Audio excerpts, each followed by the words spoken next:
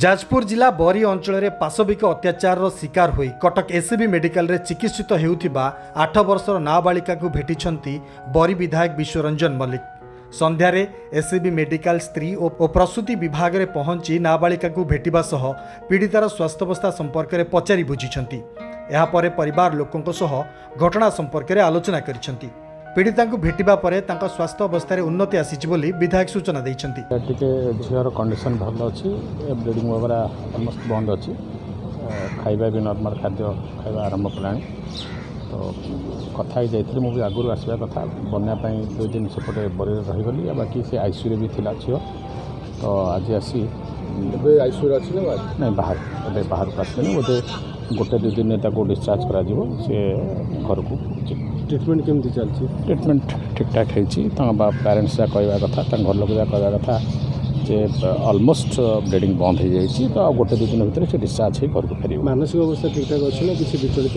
ଲାଗେ ଲାଗୁଛି ତ ପିଲା ଅ, ତ ବହୁତ କିଛି ଜାଣିନଥିବ ବଟ୍ ଏବେ ସେ ନର୍ମାଲ୍ ଅଛି। ଖିଆପିଆ କରିନଥିଲା ଆଜିଠୁ ଟିକେ ଟିକେ ଖାଇବା ଆରମ୍ଭ କରିଛି। ତ ନିଶ୍ଚିତ ଭାବରେ ସିଏ ଭଲ ଥିଲେ ମଧ୍ୟ ତା ବାପା ମାଆ ଟିକେ ବହୁତ ଟେନ୍ସରେ ଅଛନ୍ତି। ତ ତାଙ୍କୁ ମୁଁ ପୂର୍ଣ୍ଣ ପ୍ରତିଶ୍ରୁତି ଦେଇକି ଗଲି।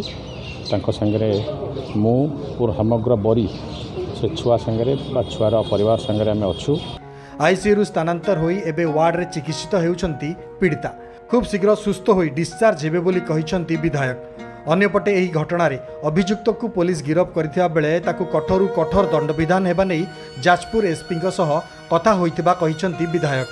ମୁଁ ପହରଦିନ ଏସ୍ ପି ଯାଜପୁରଙ୍କ ସାଙ୍ଗରେ କଥା ହେଇଥିଲି। କଠୋରରୁ କଠୋର ଦଣ୍ଡ ଦୁନିଆରେ ଯଦି ସବୁଠୁ ଅଧିକ ଦଣ୍ଡ କ'ଣ ଥାଇପାରେ ସେ ଦଣ୍ଡ ଯଦି ଦେଇହେବ ମୁଁ ନିଶ୍ଚିତ ଭାବରେ ବହୁତ ଖୁସି ହେବି ବରି ଲୋକ ମଧ୍ୟ ବହୁତ ଖୁସି ହେବେ। ଗତ ତେଇଶ ତାରିଖରେ ପ୍ରଲୋଭନ ଦେଖାଇ ଘର ନିକଟସ୍ଥ ଜଣେ ବୟସ୍କ ବ୍ୟକ୍ତି ସମ୍ପୃକ୍ତ ନାବାଳିକାଙ୍କୁ ପାଶବିକ ଅତ୍ୟାଚାର କରିଥିବା ବରୀ ଥାନାରେ ଅଭିଯୋଗ ହୋଇଥିଲା।